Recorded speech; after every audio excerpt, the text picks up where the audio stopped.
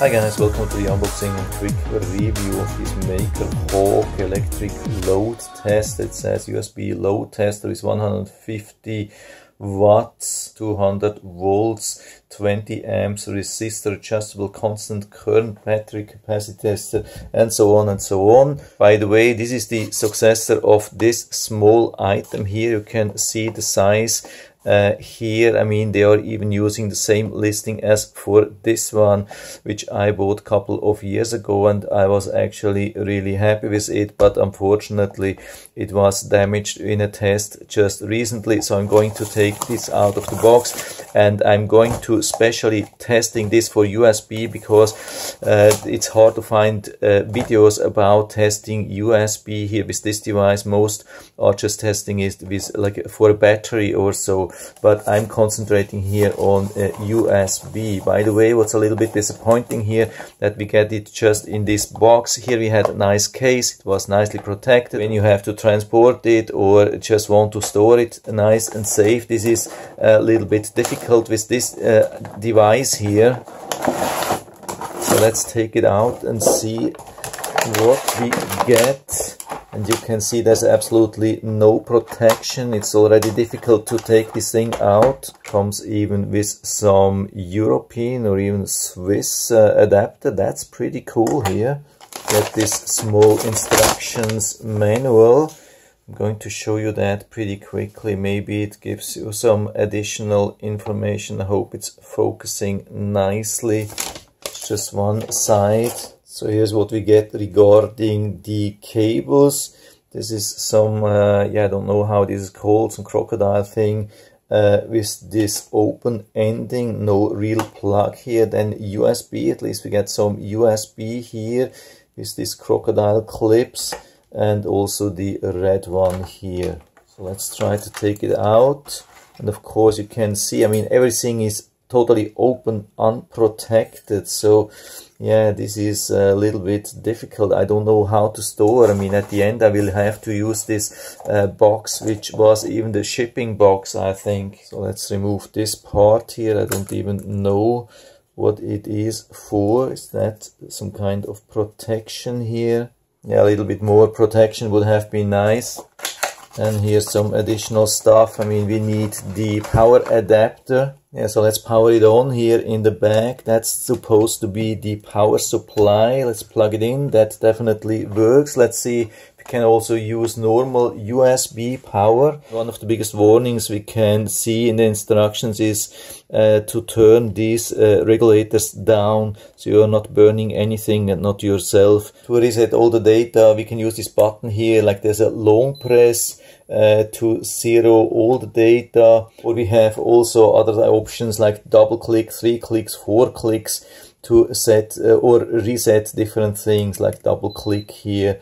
Uh, that's to for the capacity reset and when we single click we go into this uh, detailed setup here where we can set a lot of things like the background illumination with uh, double click we can uh, I think with double click or with triple click we can change that. Triple click yeah will reduce the background light time. Uh, when we double click we will increase and then the maximum is uh, I think one minute and then it's permanently on. So I'm not going into details of all the settings. What I also want to try here is uh, if you can just normal power this with uh, micro USB 5 volts I think it's not possible, but let's also see. Yeah, at the moment it works. I mean, it's described that it needs, I think, 6 volts or more power supply, 6 volts to 12 volts, and this is 5 volts input, normal standard micro USB, 5 volts input, and it seems to work. I don't know if it works for everything. Now I got a little bit in trouble. I have to reset this uh, low voltage uh, warning here. When we uh, press slowly about six times or so and then it goes into setting and you can uh, set uh, the high voltage warning low voltage warning something like that and then you can increase or decrease. So how this works with this uh, low voltage protection or with all the values you can see you can press two or three times with two times it increases with three times, it decreases, and then uh, this is just giving the direction. Then you can long press here,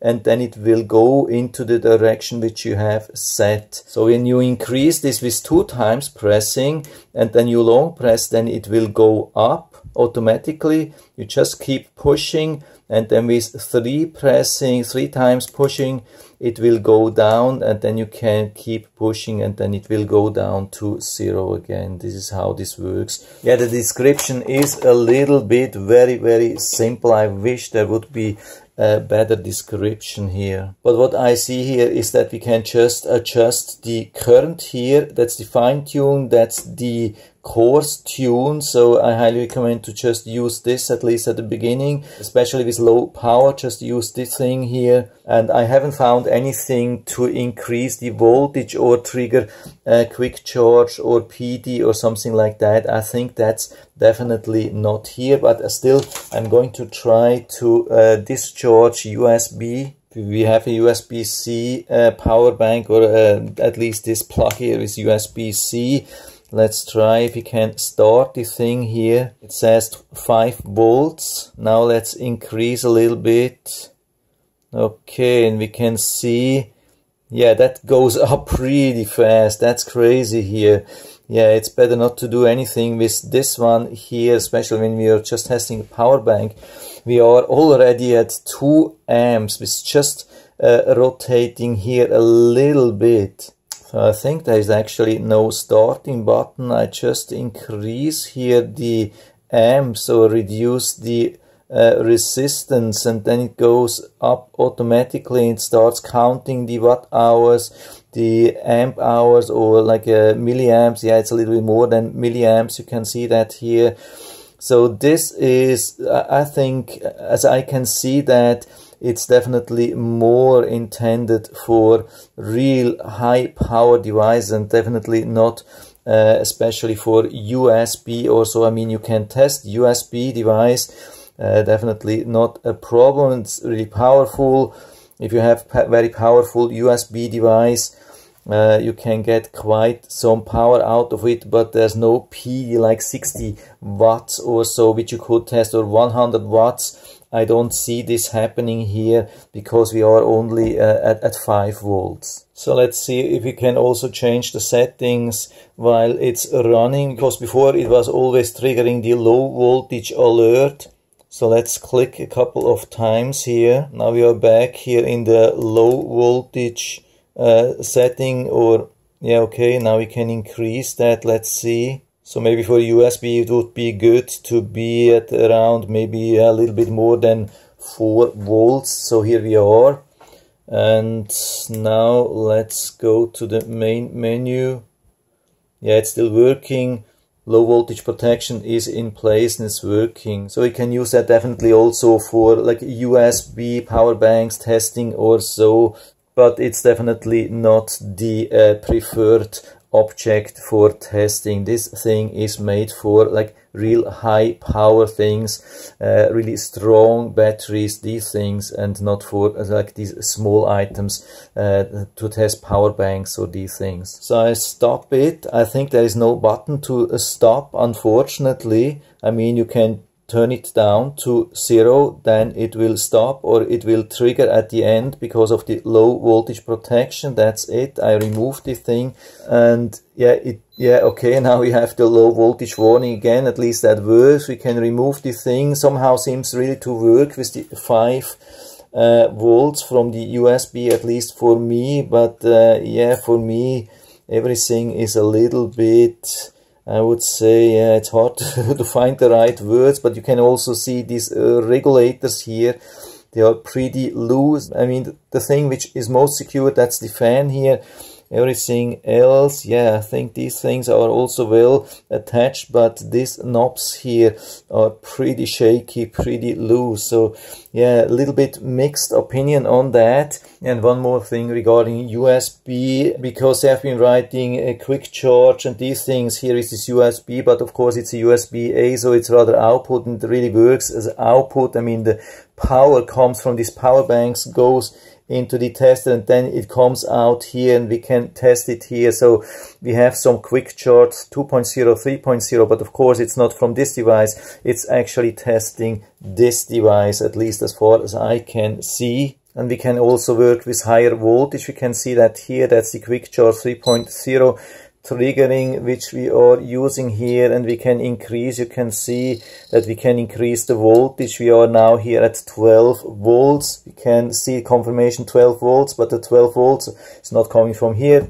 Uh, that's from here. And also when we want to test it I mean we could probably go now with this 12 volts. We could go into this load module here yeah now of course it needs an uh, additional power supply but we could do the load test here but the consumer would be this thing here the consumer wouldn't be this things but what we can do we can use this uh, device here as a trigger you can see I've triggered a quick charge 2.0 to 12 volts. We have also 12 volts or at least close to that here. And now we are using this device as a client, as a consumer. This device is not consuming uh, power anymore. It's uh, it's powered externally here anyway so the whole consumption is coming from this device which is uh, much more powerful than this consumer here and it's also registering the whole power the watt hours the uh, ampere hours, milliampere hours, milliwatt hours, these things, it's registering everything here. So we can use this to test uh, definitely, but we have to use an external trigger. Looks like there's no built-in trigger here into this device unfortunately would have been really nice. I could use that here but unfortunately not USB-C to USB-C so I can't use the 20 volts because it looks like it's not working USB-C to USB-C anymore for some reason. I can show you that USB-C to USB-C when I connect this here it's always showing zero volts. I mean I can also use other um, devices to show that there is some power here. Uh, you can see uh, we have definitely uh, 5 volts here when I go back to this device showing 0 for some reason. So looks like it's defective. I have to send it back. But uh, usually it should work like that. So if it fits for the application which you wanted I think this is very specific unit. It's hard to find anything similar to that uh, especially not in this price range. So yeah, from my side, I, I, I, can't give a really full recommendation, but depends on your needs. If you're working with higher voltage, higher current or so, yeah, why not? And uh, I'll put down the link to the Amazon listing anyway down into the description so you can check it out and order it right from there if you like it. And I hope I've been able to help you a little bit with this video. If you have any questions or comments, just write to the comment section below and always happy to talk about these things. And if you like the video, give me a thumbs up, subscribe my channel. Thanks for watching. See you next time.